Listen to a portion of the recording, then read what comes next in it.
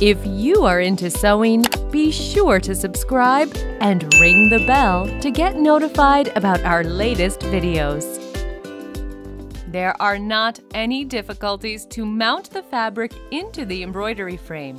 However, we need to consider some peculiarities.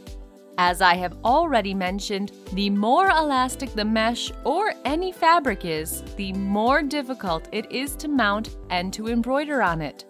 In this course, I will not demonstrate the work with super elastic fabric, as we need to have individual approach for a particular mesh and a particular garment. Thus, I will demonstrate the Dutch mesh mounting, which is not stretchable lengthwise,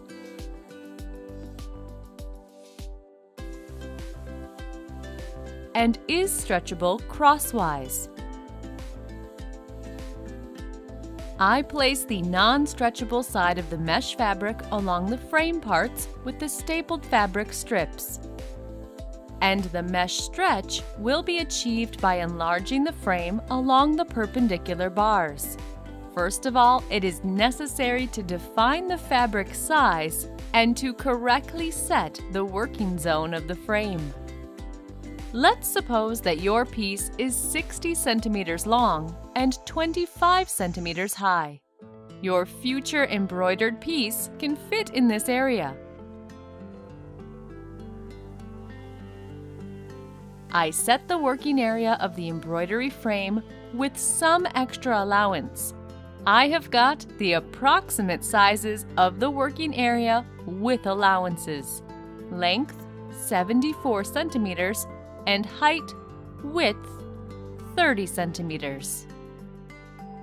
I measure and cut the mesh along the length, making it 1 to 2 centimeters shorter than the distance between the vertical bars. It is important to have a straight rectangle for the mounting. In order to cut the mesh precisely and for convenience, I fold it twice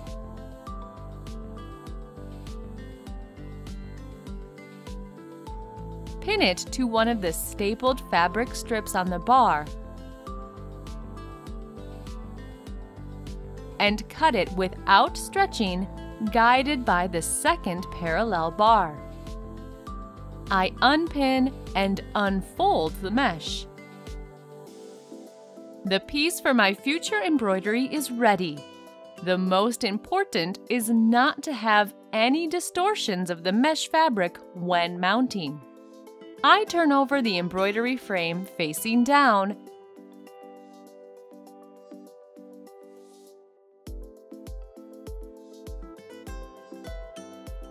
and sew one edge of the mesh to the fabric strip along the bar. Running stitches about 2 centimeters long are made. There is a rule. The more elastic the fabric is, the smaller the stitches are and the more precise mounting is.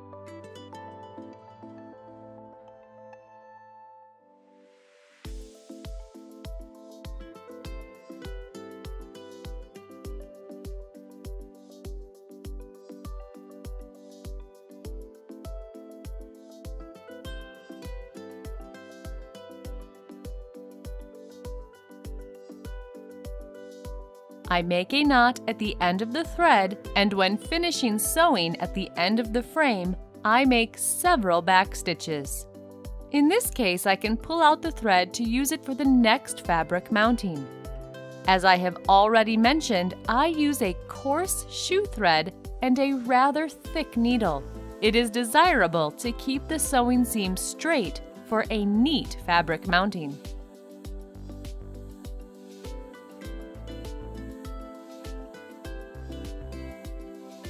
I turn the frame toward me, evenly spread the mesh fabric along the second bar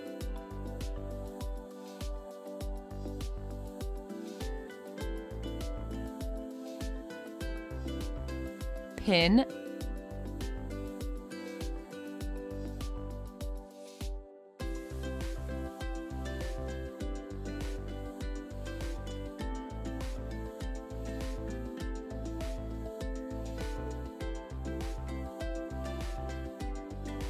and sew it without stretching.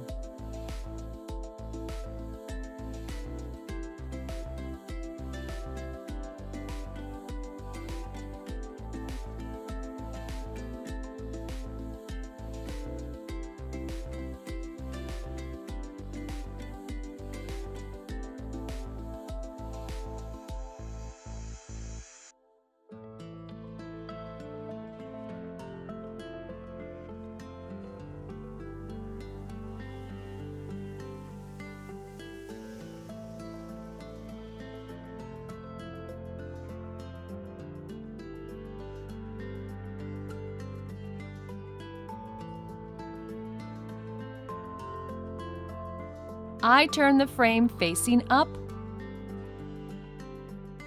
and release the wing screws for easy movement of the horizontal bars.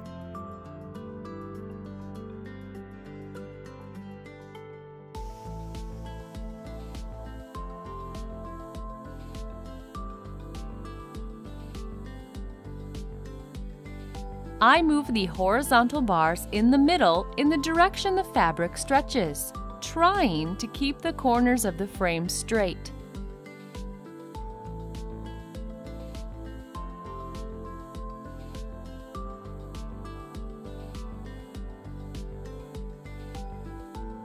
I measured the distance between the bars, which I need for the necessary tension of the fabric.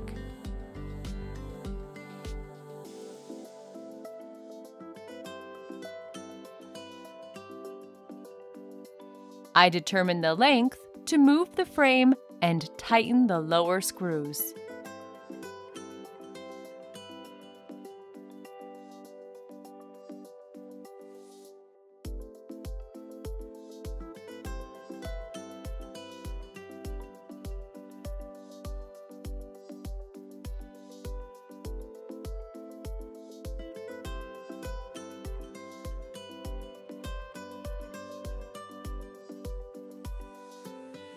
Then I move the frame at either side for the determined measurement and tighten the screws on the second horizontal bar, making sure that the corners are straight.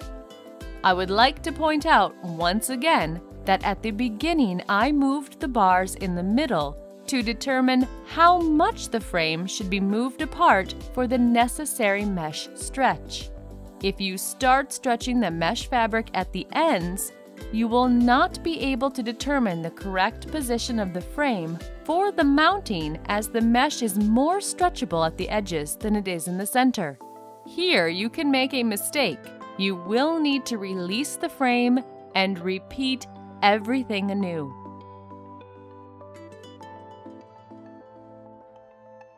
Only after can you move the frame for the determined measurement from one side and tighten the screw.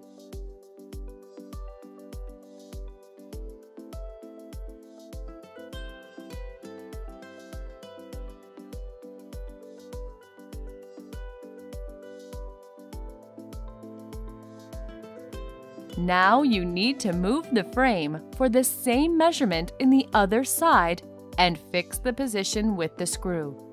The vertical bars in the working zone should be of the same length.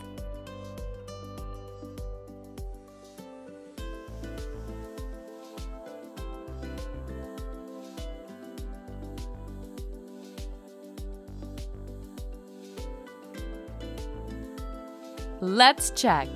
In the center of the mesh, I feel the good stretch like a drum, but the edges are still sagging. So our work is not completed yet. That's why I will stretch the edges of the mesh with the ribbon and fix them with pins. Thus, there will be stretch in the opposite direction and the mesh will be totally stretched. I demonstrate here how to mount the mesh fabric with ribbons. It is the same principle like in the horizontal sewing of the mesh. The less distance there is between the ribbons, the more precise the mesh mounting is. The more elastic the mesh is, the less distance there should be between the ribbons. To avoid the tearing of the mesh from stretching, I recommend piercing with long, sharp pins. The end of the ribbon is placed under the vertical bar and is fixed with the pin to the fabric strip on the horizontal bar of the frame.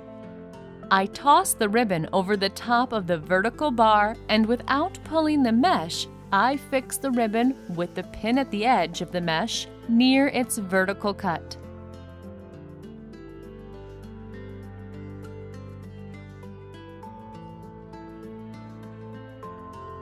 I wrap the vertical bar with the ribbon from the top again.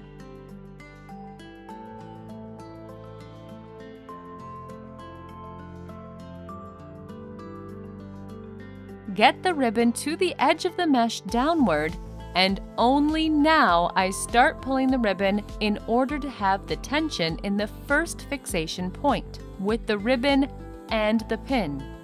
I hold the ribbon with a finger and pin it without pulling to the second point of the fixation. I continue step by step.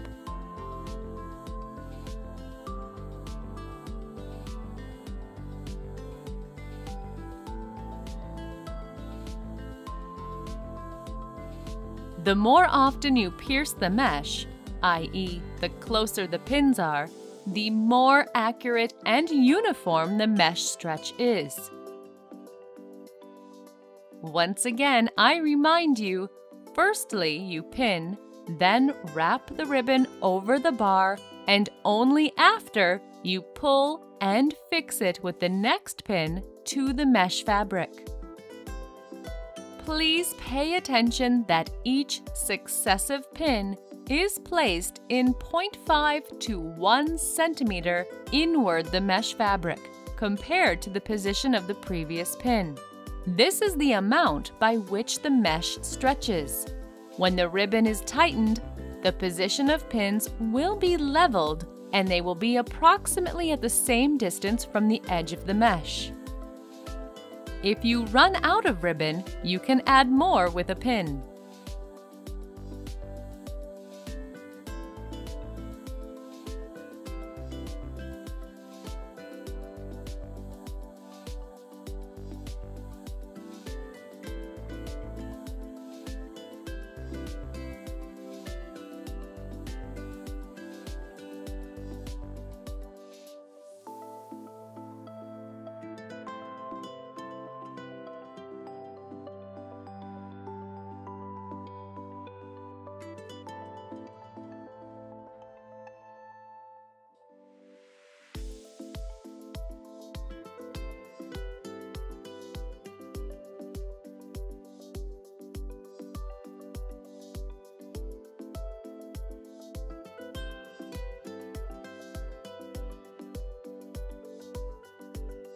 So here is the final loop. The remaining ribbon is pinned to the fabric strip on the bar.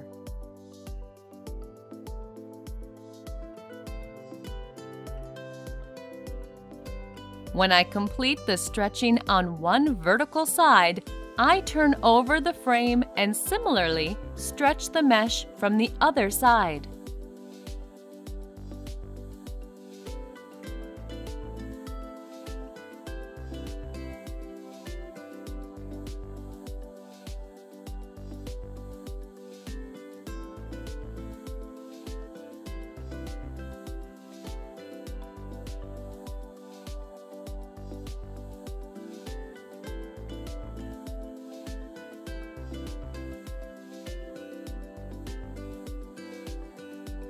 I would like to show you how you can place the ribbon on a large reel when you do not want to cut it.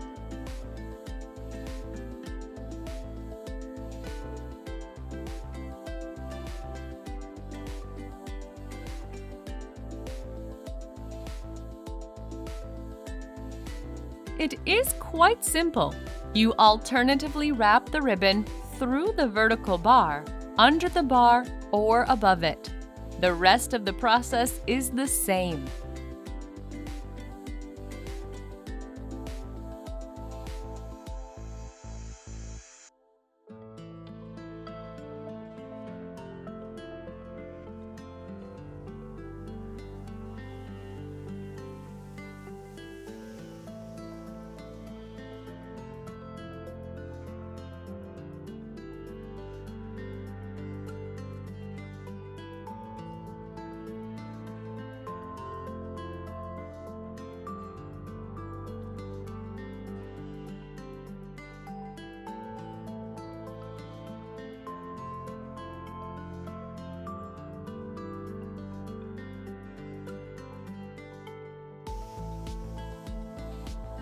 Please note, the wider the ribbon is, the easier and faster the work will be.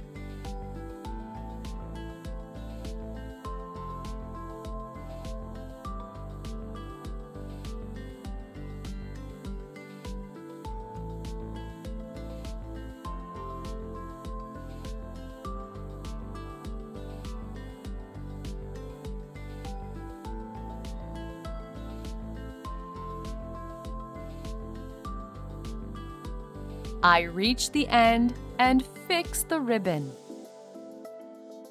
The mesh is mounted. Now you need to check the quality of the fabric mounting. The mesh should be ideally flat like a trampoline. You can throw a light object like a reel of thread and it will bounce.